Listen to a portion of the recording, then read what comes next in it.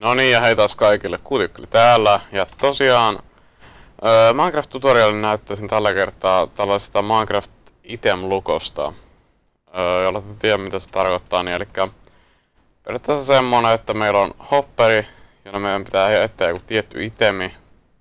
Ja jos sit, me heitetään sinne se tietty itemi, niin se avaa meille oven. Jos me heitetään joku toinen itemi, niin se ei avaa sitä. Ja jos me, ja, jos me halutaan, niin voidaan vaikka nimetä se itemi joksikun, niin se on vielä turvallisemmin periaatteessa se on lukko, kun kenellä tahansa ei, kukaan, tai kellä, kellä tahansa ei, jossain multiplayerissa ei ole sitä itemiä, joka on nimetty siksi samaksi. Se tekee tästä aika turvallisen. Tosiaan, mennään tästä vähän kaamas, vaikka tähän näin. Katsotaan tähän eka tää 6 äh, kuuden blokin tällainen 3x2 yhden syvä alue. Laitetaan tähän eteen toi, pitää hakata toi palikka tuosta väliaikaisesti, että saadaan tää meidän dropperi ensin osoittamaan tänne päin. Ja sitten me otetaan tämän dropperin päälle tää hopperi. Tää on tosiaan se, minne me heitetään se meidän itemi. Öö, hetkinen. Laitetaan väärään kohtaan. No niin. Laitetaan tähän kohtaan tämä. Ja tämän dropperin takana on tää 2 kertaa 3 alue. Näin. Sitten tähän komparaattor, tuohon voi itse asiassa laittaa palikka takaisin. Tuohon komparaattor, tähän redstone dusty. Tähän laitetaan tortsi. Ei laita sitä mihinkään näihin reunoihin, vaan laita se vaan tuohon maahan.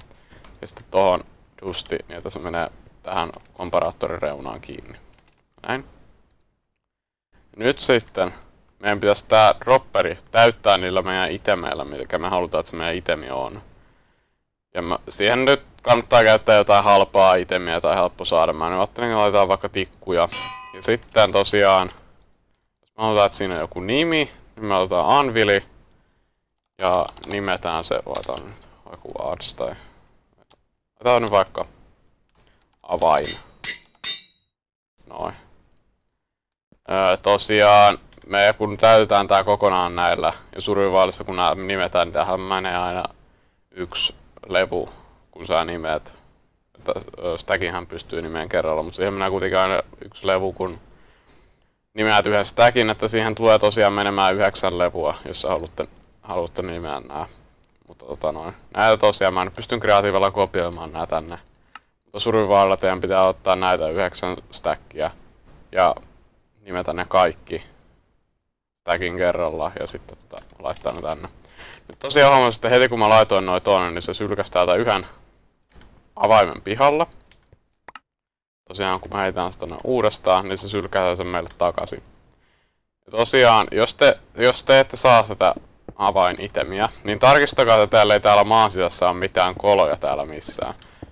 Tarkistakaa, että tää on ihan kokonaan täytetty täällä. Koska jos tuolla on vaikka kolo, niin se vissiin voi Katsotaan, saanko mä menen sen sinne. Okei, ei se mene sinne. No, mutta se vissiin olisi mahdollista, että tää dropperi ampuisi sitten sinne koloon, joka sulla maan alla on. Tai maan sisällä. Joten kattokaa kuitenkin, että se on ihan umpinaista se maa, niin se tulee tähän maan pinnalle. Tosiaan tässä on... Öö, muutas, otas tuolta joku palikka tosta. Voidaan rakentaa tähän vaikka meille joku seinä.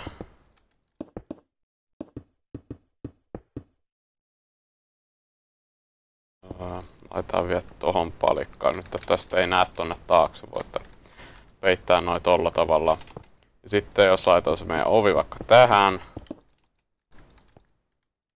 Meillä on tosiaan tässä tää mekanismi, että kun tää heittää tän tänne, niin me saadaan se avain takaisin.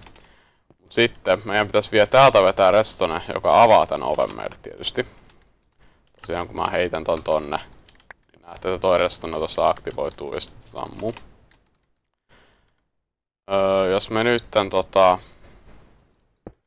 vedettäis vaan täältä suoraan tohon oven tää redstone. Niin periaatteessa tää toimii nyttenkin, mutta toi avataan tollain nopeasti. Oh. Ja siitä voi olla vaikea mennä, jotenka öö, halutaan tietysti, että se aukeaa pidemmäksi aikaa. Ja se on helppo tehdä. Rakennetaan tänne T-flip-flop tänne taakse. Mä oon tehnyt sitä tutoriaa aina aiemmin, onkohan se... En nyt näe missä se on. Tuolla se taitaa olla. Tai joka tapauksessa tehdään tähän vaikka vähän lisää seinää. Öö, tehdään se... Otas täältä nämä. Tehdään tähän näin vaikka se... Tähän meni näin, että kaksi stikipistona tällä niiden, niiden välissä on kaksi palikkaa. Laitan tonne redstone blokkeja tähän päällä kaksi jotain muuta palikkaa. Tänne tortsit. Sitten dustia tähän. Ja nyt sitten meidän pitää tää dusti täältä yhdistää tänne ylös. Öö, mutta meidän pitää myöskin laittaa tähän repeaterin väliin, koska muuten tässä tulee ongelmia. Tällä tavalla yhdistetään tää ja laitetaan tähän repeateri. Ja sitten voidaan laittaa myöskin vaikka tähän kohtaan redstone ja tänne toiselle puolelle, tänne meidän oven sisäpuolelle laitetaan nappi. Tästä me saadaan täältä sisäpuolelta tää helposti auki. Katsotaan toimiiko. Ei se tietenkään toimi, koska meillä ei, meillä ei ole yhdistetty mitään nyt tuohon oveen. Kaivetaan sitten tänne maan sisään kolo. Tosiaan toi meidän ovi on tossa kohtaa. Tää restone tästä. Vedetään se tuonne palikan alle. Tän restone palikan. Tällä tavalla. Ja sitten voidaan tukkia tämä täältä. Nyt kun mä painan tätä nappia, nyt toi menee tosta. Ja sitten näin täällä ulkopuolella kun me ollaan. Laitetaan tonne toi meidän avain. Noin. Päästään tänne sisään. Voidaan tosta sulkea se. Sitten voidaan taas avata. Mennään ulos. Sitten voidaan heittää avain tonne. Ja se sulkee sen myöskin. Nää.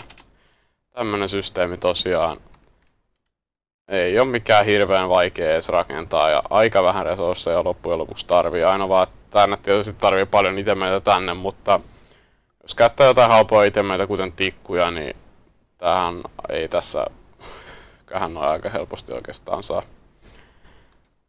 Mm, tosiaan tää toimii ihan yksinkertaisesti sillä, että tota, tänne kun heittää tämän itemin, niin sitten tää dropperi menee täyteen, jolloin tää komparaattori havaitsee, että se on täynnä. Ja no, tuolta tulee isompi signaali kuin tästä sivusta sitten. Ja se aktivoi sitten täältä takaa tämän redstonen ja ton komparaattorin kautta se aktivoi sen dropperin ja se heittää meille sen itemin. Ja samalla täältä takaa tää redstone menee tähän T-flip-floppiin, joka kääntää ton redstone-palikan tohon, joka aktivoi ton redstonen tuolta, joka avaa tän oven meille. Joo. Toivottavasti ymmärsitte, jos halusitte ymmärtää. Tosiaan tämmönen systeemi, ihan hyödyllinen joskus. Öö, tosiaan voitte nimetä tän ihan miksi haluatte ja laittaa tonne ihan mitä itse meitä haluatte, muuttaa halva, halpa itemi on tietysti parempi, koska niitä helpompi saada. Joo. Ei kai tässä sitten muuta. Jättäkää tykkää, jos tästä on teille hyötyä ja että rakentaa. Ja ää, jos teillä on jotain muuta kerrottavaa, niin laittakaa kommenteissa. Ja joo, ei kai siinä. Mä oon ja